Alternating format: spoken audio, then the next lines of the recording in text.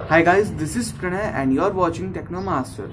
So today's I'm talking about the Oppo A71s smartphone full specifications and guys lastly I will give my opinion so watch this video till the end and if you're not subscribed to my YouTube channel click on the subscribe button and then press the bell notification icon so that you will get notified each time we upload a new video. So let's quickly get started guys.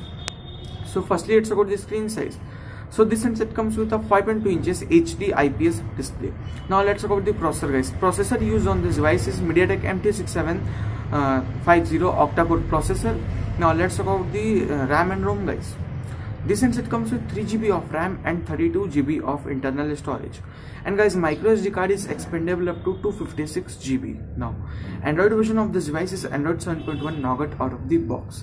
And dual SIM with 4G VoLTE support is also there. Now, let's talk about camera guys. So this handset comes with 13 megapixel of rear camera with LED flash and aperture of the rear camera is f2.2 and front camera of this device is uh, 5 megapixel shooter with aperture of uh, f 2.4 now guys there is no fingerprint scanner but this device supports face unlock technology.